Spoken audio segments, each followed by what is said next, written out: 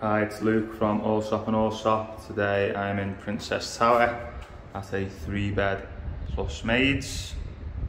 So upon entrance to the property, straight ahead we have a closed kitchen and dining area with all the appliances built in. As you can see the flooring has been upgraded to a wooden effect. And then off the kitchen is access to balcony with a view of Palm and also down to the Burj Al Arab.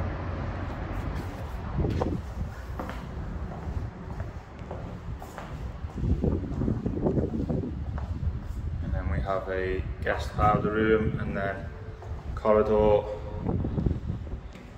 with the first guest bedroom. Again with the partial sea view built-in storage.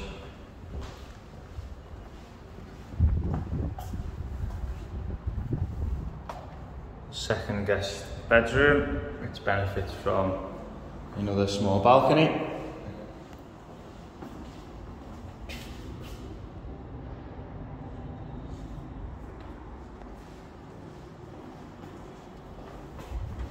And then we have the guest bathroom shared by the two bedrooms.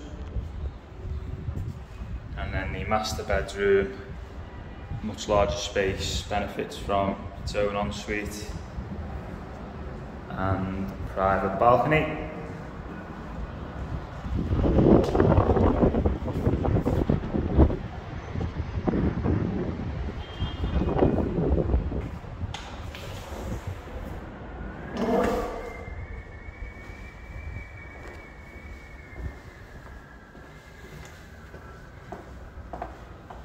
And at the front of the property is a large living area, plenty of natural lighting, and you've got the full sea view of the palm.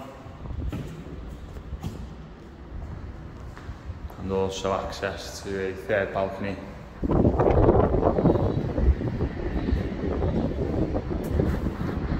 property is vacant and available now. Please do get in touch for further information and viewings.